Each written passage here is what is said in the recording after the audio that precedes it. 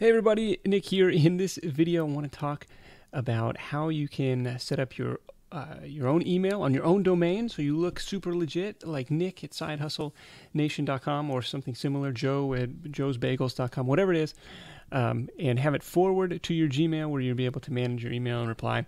This is the uh, setup that I have. So all of my different email addresses all funnel into one main account, and that's the way I prefer to run things. If you like to keep things separate, probably not the system for you, but let me show you how to get this done if you want to uh, give it a shot. First step, so this is cPanel, I should say. If you have Bluehost, this is in web hosting buzz, but if you have Bluehost, if you have HostGator, if you have any of those, you probably have a, cPanel that looks similar to this. So what you want to do is click on that email button and then uh, create your new email account. And this is the beauty of it, is your domain. You can create whatever you want. So I'm going to create uh, an account for the dog and set this up at sidehustlenation.com. Let me create a password for him. Okay, and so we'll create this account for Mochi. Next step that I want to do is hit home, and I don't worry about the quota. If, if he ends up using more than 250 megabytes, I'm to have to cut him off. Next step I want to set up is the forwarder. And so you see there are several accounts that all forward to nloper at gmail.com. So what I want to do is set up mochi at sidehustlenation.com forward to nloper as well. And we'll add forwarder. So there it is. It's all set up. Next step is to go over to your Gmail and this is my own version of inbox zero. I, I, I, tend not to delete anything and just use the search function instead. Um, what you want to do is hit settings and then you'll go to accounts and import and add another email address that you own. So here I'm going to punch in mochi at side hustle nation com, and then you're gonna get to the next step, and you're get, gonna get this scary SMTP server stuff. So when I saw this, I really had no idea what it was, so I had to go find out what uh, what this is all about because Google or Gmail changed this. What you want to do next is go back to your email accounts, find Mochi or find whichever one you created, and hit Configure Email Client.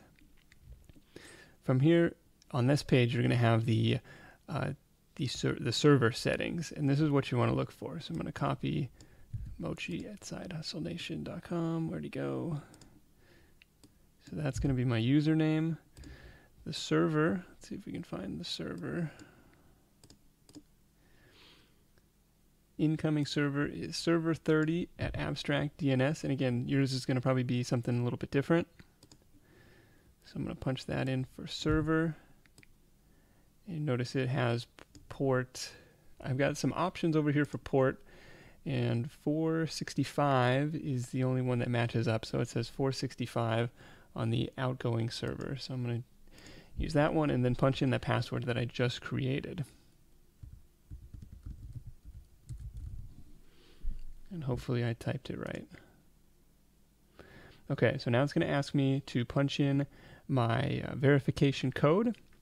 Now, if we go back to our inbox, we should see Gmail team, Gmail confirmation, send email as mochi at sidehustlenation.com. So here's that confirmation code. We'll grab that, punch that in here, and verify. And now you're all set. The next step that I would I would have somebody do uh, it doesn't necessarily work that well when I send a, a test message from my own account. But if I can find somebody on chat, hey, would you mind sending a quick uh, test message to this email just to make sure that it comes through and that you're able to uh, to hit reply for it as and send it as Mochi. Now you can send in in that Gmail setup. You can set up you know whatever name you want in the in the from field. Actually, you can do that back in your uh, in your settings as well. So here is Mochi, and I, if I hit edit info, I can change the name side hustle shih tzu or whatever I want to put in there. All right, guys, that's how to uh, forward your email all through your Gmail. Thanks for watching.